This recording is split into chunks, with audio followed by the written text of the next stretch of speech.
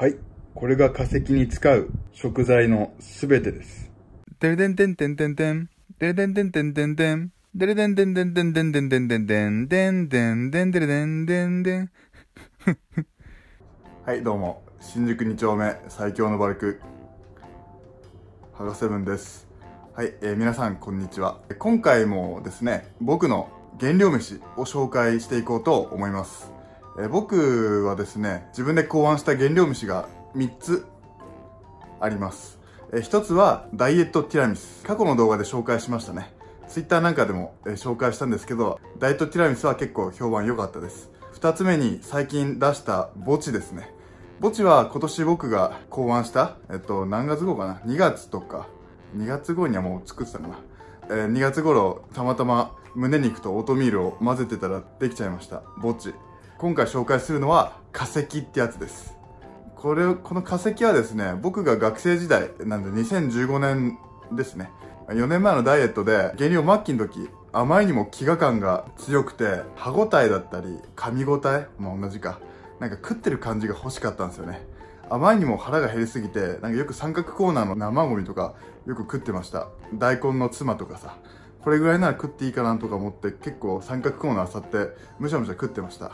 普段食ってるものでなんか食えるものでなんか歯応えのあるものねえかなと思った時あそうだ鶏胸肉を水分飛ばせばいいんだっていうことでちょっと試行錯誤してたらですね、えー、化石が完成しました。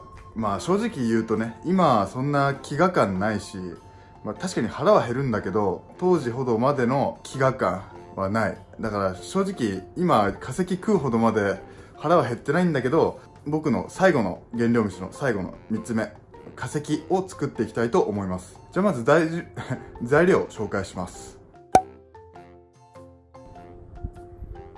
はい。これが化石に使う食材のすべてです、えー、鶏胸肉 200g を細かく裂きました。これだけです。必要なのは。あと耐熱皿ですね、えー、レンジで長い時間温めるんで、えー、熱に強いお皿用意してください。プラスチックの容器だともしかしたら溶けちゃうかもしれないんで、これ耐熱皿を用意してください。これは多分、多分耐熱皿です。知らないけど。まあ、とりあえずプラスチックじゃないお皿を用意しましょう。で、鶏胸肉をこれぐらい細かく裂きます。もしかしたらもっと細かくていいかもしれないですね。だけどまあめんどくさいんで、まあこれくらいにしときました。はい。細かく裂けば裂くほど、水分が飛びやすくなります。はい。多分ね。多分飛びやすくなる。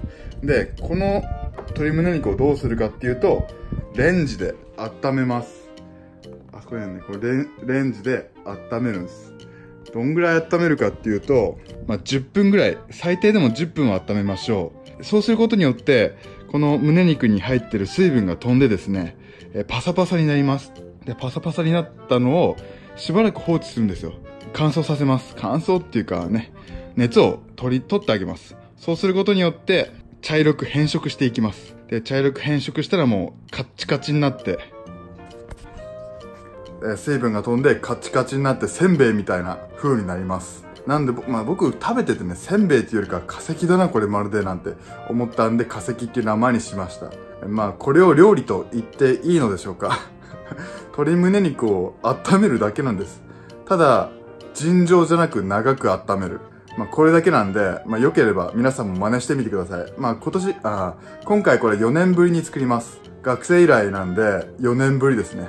果たしてうまくできるのかちょっと心配ですけど、もし10分温めてみて、ちょっと少ないかな、まだ温めが足りないかなって思ったらもうちょっと追加して温めようと思います。で、このできた化石はですね、不思議なことに当時食べてるとですね、まあ、もちろん顎はパンプするんですけど、まあ味がなんかサンマの味がしたんですよ。塩かけて食ってたんですけど、あ、ポン酢だ。ポン酢とかもかけてたっけな。なんかサンマの味がしたんですよね。ちょっと今回、まあそこまで飢餓感ないけど、サンマの味がするかちょっと気になります。そこだけちょっと調査してみたいなと思います。調査っていうかね。まあいいや。とりあえず温めるか。じゃあ調理開始。はい。じゃあ、胸肉ちゃん、しっかりと化石になって出てきてくださいね。これ 500W の電子レンジで10分ですね。まずは10分で様子見てみましょう。はい。じゃあ行きます。スイッチオン。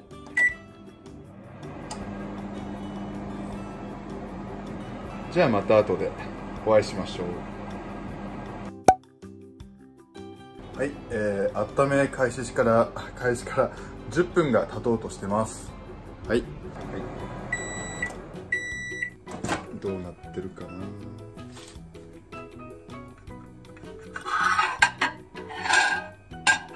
うん。うんまあどうだろうね。こっから時間を置いて変色するか。確かこうやってね。あこうやってね。ほぐしてあげる。あこれ裂くの忘れ避けてない。わあ避けてないこれ。見落としてたわ。ちょっと5分ぐらい待ってみるか。えっとね。何分かちょっと見てみたんですけど多分まだ加熱が甘いな。全然水っぽいんでもうちょっと温めようと思います。だけど中にはこうやって変色してちょっと化石化が始まってる肉もありますね。だけどちょっと全体的にまだまだ水っぽいんでもうちょっと温めてみます。もう10分ぐらいかな。やっぱり久々に作るんで何分温めるとかそういうのちょっと忘れちゃってますね。多分10分じゃ短い気がします。はい。なんでもう連続して15分とかだったらわかんないけどちょっともう10分ぐらい、えー、温めてみようと思います。はい。一回10分ぐらい温めてみます。レンジぶっこぶっ壊れなければいいけどね。じゃあもう一回10分温めます。はい。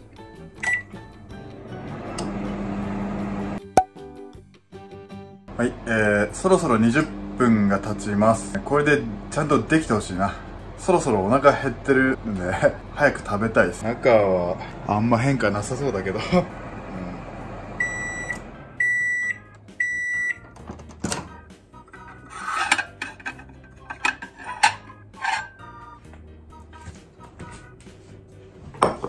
さっきよりかは化石感が増してるかな。ちょっと化石っぽいね。でもまだ水っぽいような気がするけど、ちょっと冷ましてみます。5分間ぐらい冷ましてみました。うん、まあまだね、まだあの時の化石というには程遠いかな。でね、まあ、せっかく作るんだからね、もうちょっと温めてみます。はい。まだね、まだちょっと水っぽい。まだか柔らかそう。まあさ1回目と比べるとだいぶ水分抜けたけどまだでまだこれでは化石とは言えないな。もう一回やってみますもう一回。もう電子レンジの方が参っちゃうかもしんないな。もう10分温めます。はいまた後で。はいえー、そろそろ温めて合計が30分が経とうとしてます。そろそろ空腹感がやばいです。早く食いたい。はい。まあこれでもうできなかったらもう食うよこのまんま。もう30分も温めればねさすがに水分飛ぶんじゃないかな。あああできた。やっと化石になった。多分、うん、これで乾燥させれば化石です。まあまだねちょっと甘いやつあるけどもう今回はいいでしょこれで。化石久々に見たぜ。じゃあちょっと冷まして食いますけど、これが化石。まだ甘いけど、まあいいでしょう。今回はこんな感じで。連続30分すれば化石になるんじゃないかな。実食します。はい、えー、お待たせしました。やっと完成しました。化石。いやもっとね、簡単にできると思ってたんだけど、意外と抵抗ずりました。まあ4年前の当時は、えー、なんかタッパーに入れてたんですよ。で、タッパーに入れて、十何分か温めればできたと思うんですけど、まあ、今回はこういう普通のお皿を使ったんで、ちょっと時間がかかっちゃったのかもしれません。で、結局30分温めました。えー、っと、まあ、こういう普通のお皿に入れて作るときは、うん、連続30分温めれば、まあ、確実にできると思います。まあ、電子レンジが先にぶっ壊れるかちょっと不安だったけど、まあ、まず作り方のまとめとしては、えっ、ー、と、細かく胸肉を裂いて、食べる分を裂いて、と30分間レンジでチンしましょう。普通のタッパーに入れてやっちゃうと、おそらく溶ける可能性がありますので、そこは気をつけてください。はい。では、もうね、もう深夜の3時半ですよ。もうさ、やっとトレーニング後の飯が食えるよ。じゃあいただきます。ああ、いいね。この感じ。この硬い感じ。まあ、まずこのまんま。うん。スルメみたい。うわ。これ歯にめっちゃ引っかかる。まあ、とりあえずこれだけだと味ないですね。確かに歯応えはやばいですね。当時はこれ食って顎がね、パンパンに腫れて筋肉痛になったぐらいですからね。どうやって食えばいいのこれ。じゃあ塩かけて食ってみます。いただきます。おあ。あ。サンマっぽいかも。懐かしいな、これ。あの、学生大会の、もう本当にヘヘロヘロな実況を思い出します。懐かしい味。懐かしい食感。これでは昔食ってたの。いや、食いたくなかったな、この年は。今年食う、まさか食うとはね。まあ別に、まだ僕そこまで飢餓感がすごいわけじゃないけど、これってどうなんだろうタンパク質取れんのかな水がなくなっただけだから多分大丈夫ですよね。うわでも懐かしいわ。この感触。食感か。じゃあ、ポン酢かけて食ってみます。ポン酢。うん。こんな感じ。いただきます。歯ごたえ。おスルメだな。うん。食い応えあるわ。懐かしいわ。まあ、ちょっとひもじい気にもなるけど、普通に食うよりかは全然歯応えがあります。うん。当時は手で食ってたんだっけな。フォークだっけでも 200g の化石を、あ鶏胸肉を1時間ぐらいかけてゆっくり食べてました、当時は。